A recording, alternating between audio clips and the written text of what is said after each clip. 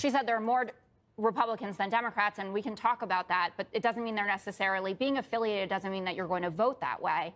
And Blueprint had a new survey out where they found that 36% of Nikki Haley's voters are going to back Harris.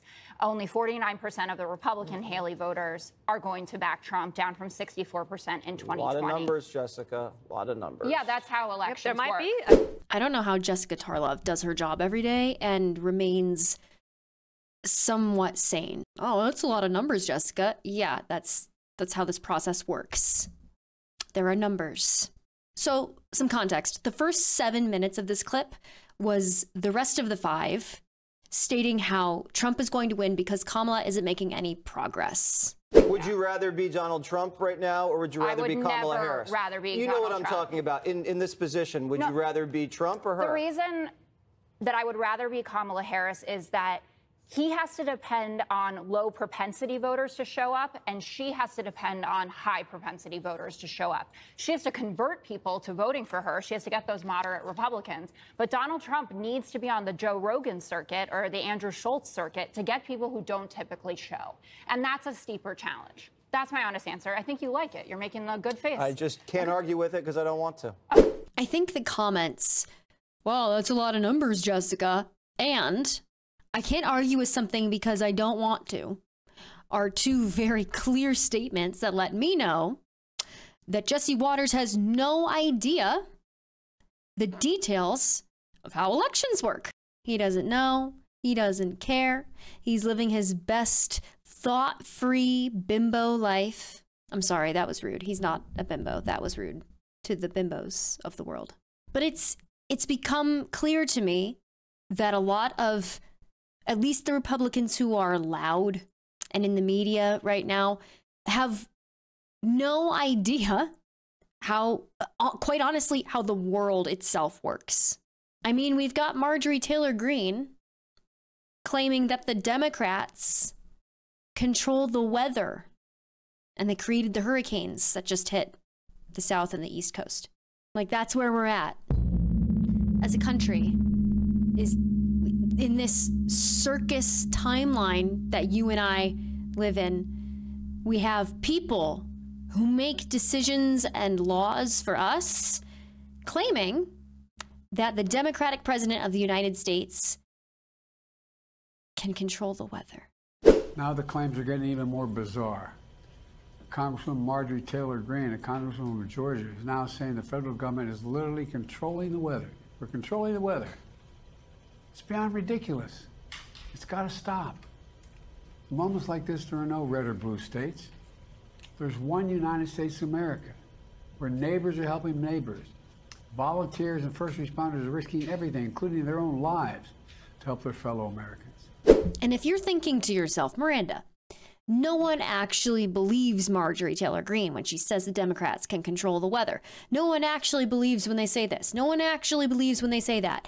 It is contagious. And let me give you some examples. If Donald Trump wins the 2024 election, will you trust the results? Yes, I will. If Kamala Harris wins the 2024 election, will you trust the results? No. And I know that sounds like a double standard, but it's not. Well, that is a double standard. Well, it's not. For instance, the voter fraud allegations, which Trump essentially turned into if I lose, it's fraud, and if I win, it's just correct. And every single MAGA supporter said, Heck yeah, brother. Now, common sense would tell us, but those rules don't make sense. Oh, Miranda, they couldn't possibly. They do believe. So, are you saying that Kamala Harris is actually wearing earbuds? Yes. Yes. When she goes into a debate, take out her earrings. You're saying she you should have see, to not wear Trump her go, earrings. You see Trump going in with an earring? Does that feel like a conspiracy theory a little bit? We're done. Kamala Harris wears earbuds in her earrings every time she goes into a debate so that who can feed her information that uh, it's not true but even if it was true what would be what is the conspiracy who's feeding her information what's the information there i don't understand why that would need to be something that's hidden. The spread of misinformation, which is rampant these days, by the way, has made these these hard right Republicans see Kamala as this DEI conspiracy in and of herself. A conspiracy that needs to be debunked and defeated because the Democrats are trying to pull one over on them. They're trying to pull the wool over their eyes. And by contrast, that makes Trump their savior, protecting them from whatever this conspiracy is. What, what, what is this shirt here?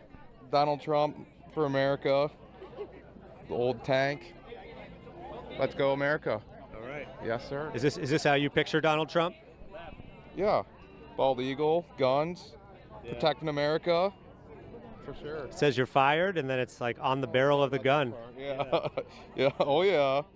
If you had to choose in November Yes. between Kamala Harris and Vladimir Putin, who do you vote for?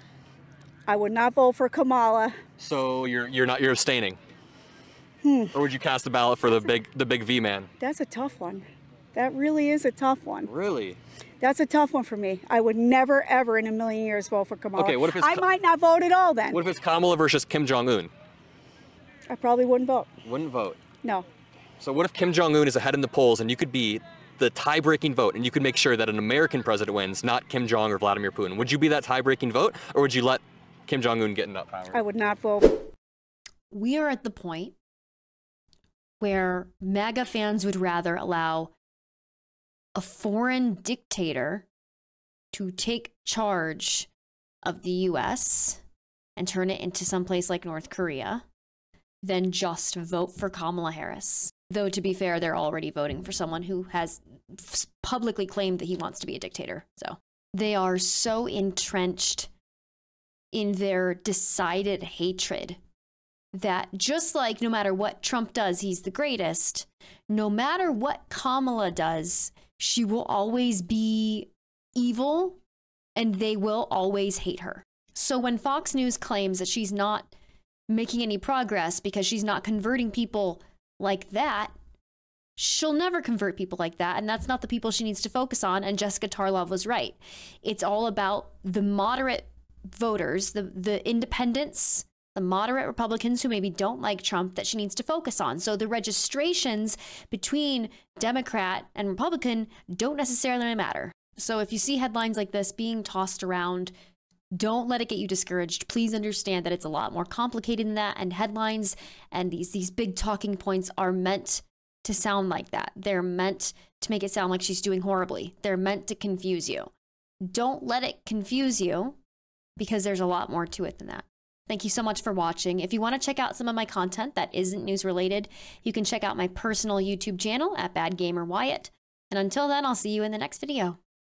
Thank you.